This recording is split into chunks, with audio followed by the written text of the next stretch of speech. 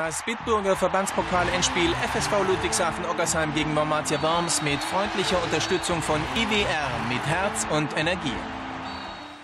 Wer diese Trophäe gewinnt, ist für den DFB-Pokal qualifiziert, was 100.000 Euro in die Kassen fließen lässt. Die finanziell klammen Oggersheimer hätten dieses Geld dringend gebraucht.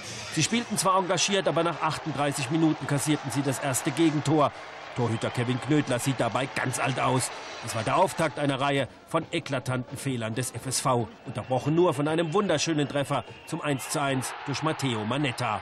Was der kann, kann ich auch, dachte wohl der Wormser Michael Anicic und versenkte die Kugel mit dem Pausenpfiff zum 2:1.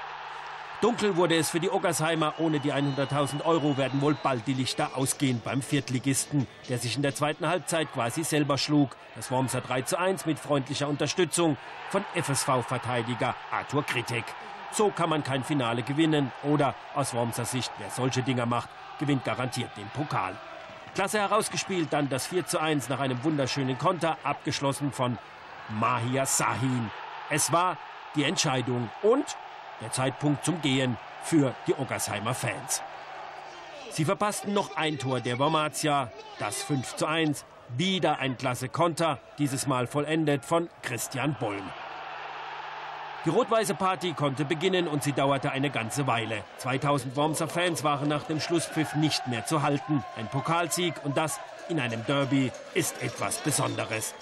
Beim FSV die Stimmung dagegen auf dem Nullpunkt. Das aus finanzieller Sicht wichtigste Spiel des Jahres hatten sie gewaltig in den Sand gesetzt. Und sie mussten mit ansehen, wie der Pokal verdientermaßen nach Worms ging. Das Bitburger Verbandspokal-Endspiel FSV Ludwigshafen-Oggersheim gegen Wormatia Worms mit freundlicher Unterstützung von IWR mit Herz und Energie.